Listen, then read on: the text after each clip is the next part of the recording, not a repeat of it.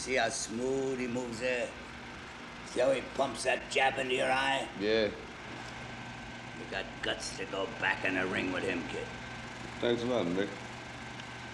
You know, Your style's too easy to figure out.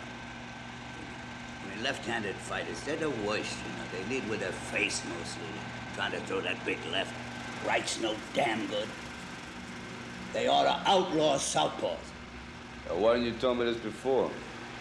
I didn't want to hurt your feelings. Now look.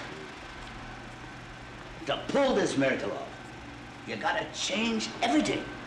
You gotta learn to be a right-handed fighter. Now this'll confuse Apollo, and it'll protect that bad eye. No, I can't learn how to fight right-handed no more. What's can't? There ain't no can'ts. There's no can'ts. Now he will beat you uglier than you are now. Now listen, you start fighting right-handed, and then you change sudden, and that'll make history. But first, you gotta get speed. Demon speed. Speed's what we need.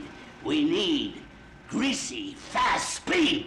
Now I show you a trick how to get some speed in them legs. You have to wear that stinking sweatshirt. Well, it brings me luck, you know. You know what it brings? It brings flies. Now listen, I want you to try, listen to me. I want you to try to, to chase this little chicken. Well, what do I gotta chase a chicken for? It's embarrassing, you know? First, because I said so. And second, because chicken chasing is how we always used to train in the old days. Yeah. You catch this thing, you can catch grease lightning. Ready? Yeah, well, I'd rather eat it than chase it. It Ain't very mature, Listen. but I'll, uh, if you say Well, so. neither are you very mature. Now listen, get this thing. A fighter ain't a farmer. Come on, now, go on and get him. Get him, get him, get him. Come on, what's the matter with you? Get him. Pick him up. Put him down. Pick him up. Put him down. You're so fast. What are you standing still or something? Speed, speed. Can't you catch your little chicken? Huh? Come on. Move your tail. Move your tail. You look like a girl out there. What's the matter with you? Feel like a Kentucky Fried Idiot.